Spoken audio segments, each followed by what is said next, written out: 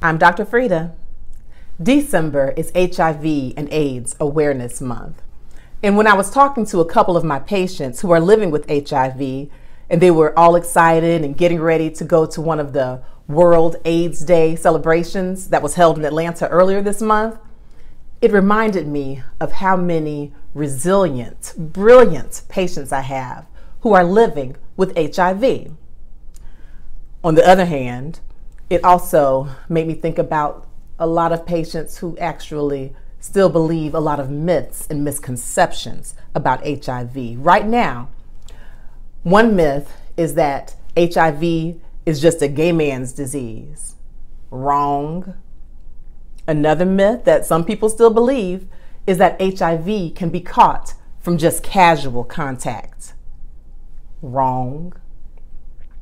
And one of the scariest myths that some people still believe is that people with HIV or AIDS have a certain look. They look like they have AIDS. That one is so wrong. Over 36.9 million people worldwide are living with HIV. It is still a major epidemic. Over the next several minutes, we're going to have a little chat about HIV and AIDS. I'm going to discuss the risk factors, the symptoms, how HIV is spread, and how HIV can be prevented. Keep watching.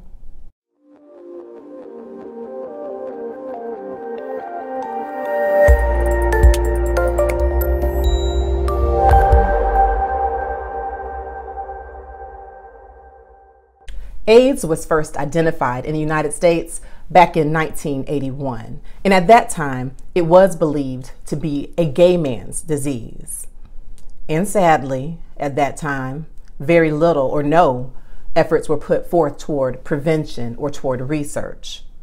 Well, very soon it became evident that HIV crosses all color lines, cultures, races, religions. It crosses all socioeconomic lines from Charlie Sheen to Freddie Mercury to Easy E to Magic Johnson.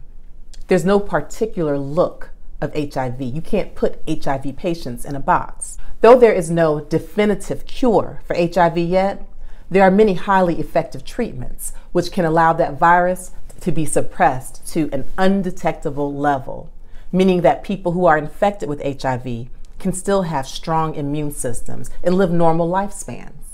What is HIV? So, HIV, or human immunodeficiency virus, is a virus that attacks the immune system. So, your immune system is your body's defense, your body's army against infection, your antibodies, your white blood cells, T cells, B cells. What HIV does is that it attacks some of these cells so that it suppresses your immune system and you become more prone to infection. When HIV is very severe, when that virus is allowed to proliferate, it's not treated properly, you can progress to AIDS, which is when your CD4 count is less than 200, or if you have one of the AIDS defining illnesses like lymphoma or candidiasis or yeast in your esophagus. Basically, AIDS occurs when the HIV weakens the immune system to really the lowest states. How is HIV spread? Well, it's not spread through casual contact, not spread through handshakes, through hugging someone. HIV is spread through sexual contact or by exposure to body fluids or blood that have been infected with HIV.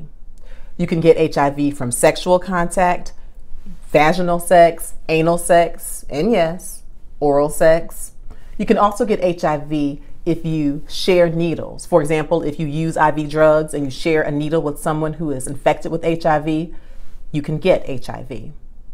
Another way is if you share other drug paraphernalia. For example, if you are a person who uses cocaine, if you inhale cocaine, say you use a straw that a person who is infected with HIV has used, if the tip of that straw has come in contact with some broken blood vessels in the infected person's nostrils, and now you use that same straw and it comes into contact with your bloodstream through your nostrils, then yes, you can get HIV that way.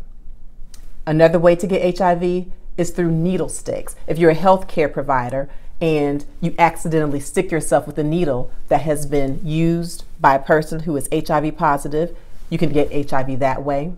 And very rarely, patients who are pregnant and HIV positive can pass that HIV to their unborn child or pass it on during childbirth or through breastfeeding if they are not properly treated. So, who is at high risk for HIV? Anyone who is having unprotected sex, particularly with multiple partners, men having sex with men are at high risk, people who are professional sex workers, also people who share drug needles or share drug paraphernalia.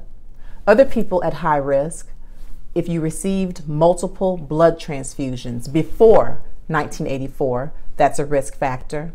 New HIV diagnoses have the highest rate among African Americans. Even though blacks only make up 12% of the population, African Americans account for 44% of the new diagnoses with HIV. What are the symptoms of HIV? When someone is infected with the HIV virus, symptoms usually develop between two and four weeks after exposure. These symptoms are difficult to recognize because they tend to be flu like or like a common cold. Symptoms include fever, sore throat, rash. You can have diarrhea, nausea. You can also get inflamed or swollen lymph nodes, like around the neck or even down in the groin. These symptoms tend to go away, and if you're not tested or suspicious, you could miss that you have that diagnosis and then go back to feeling completely normal. Some of the later symptoms of HIV can occur months or even years after initial exposure. And some of these later symptoms or signs can be candidiasis or yeast thrush that is down in the esophagus, the digestive system. Also, if you get candidiasis in the lungs or in the trachea, in the bronchioles, that can be associated with HIV. Certain cancers are associated with HIV, such as Kaposi sarcoma, lymphoma. All of these are late signs of HIV infection. Who should be tested for HIV? Well, according to the CDC, Centers for Disease Control and Prevention, everyone between the ages of 13 and 64 should be tested for HIV at least once. And there are many types of testing you can get if you go to health fairs or if you go to your health clinic or just consult your physician, you can find out how you can be tested. There are rapid HIV tests that are now available. And the rapid test can be done using just a finger stick or a pinprick or using oral secretions. You get that test and the results come back within 5 to 40 minutes. Now, if you are found to be HIV positive on a rapid test, you do need a repeat or confirmation test of another type. There are other more standard tests that actually involve a blood draw from the vein. And these tests can test for the HIV virus or HIV RNA. They can also test for the HIV antigen or the antibody to HIV.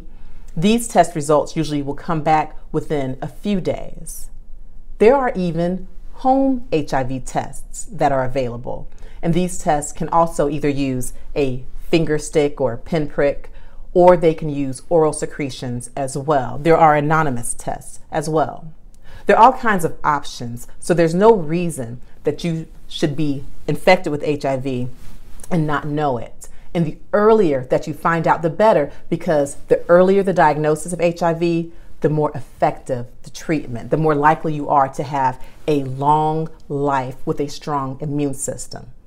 Don't sit in the dark, don't be in denial. Go out and get tested. How do you prevent getting HIV? Well, the best way to prevent is not to engage in high risk behavior. If you're having sex, make sure you are using a latex or polyurethane condom. Make sure that you aren't sharing drug needles or sharing drug paraphernalia. If you are a healthcare provider, use all safety precautions when dealing with body fluids or when dealing with blood. Another wonderful way to prevent HIV is by taking preventive medications, something called PrEP, pre exposure prophylaxis. The pre exposure prophylaxis, or PrEP, is actually an anti HIV medication that is taken by people who have not been infected with HIV. And it is evidence based that PrEP can decrease HIV transmission by more than 90%. If indeed you are HIV positive, there are many, many effective treatments, antiretroviral medications. These medications have gotten better and better over the decades, where they have less side effects and they're more effective in fighting HIV. If you take these medications, you can have a normal lifespan. You can suppress the HIV virus to the point where it's undetectable. You can have a strong immune system. You can have a healthy life. So if you think that you have been exposed to HIV, again, don't be in denial. Get tested and get treated. This ends my overview of HIV and AIDS. Please like my video. Please subscribe to my page. If you are someone who is living with HIV, please comment down below. Be an encouragement to someone else. Please help teach us something. Please comment. Remember, practice safe behavior. No matter how high of a pressure situation you're in, always try to be wise and make sure you use a condom. You make wise choices. And if indeed you have been exposed to HIV, face it head on. Look for support groups. Consult your physician. Be honest with your physician. HIV is everywhere. There's no face to it. You can't just stereotype people. I guarantee you sit by people with HIV on the bus, you ride in the airplane with them, you hug them, you see them at church. HIV is here, but we are fighting to eradicate it. Please take care of yourself. Do your best to live your healthiest, happiest life. Thank you for watching. I'm Dr. Frita.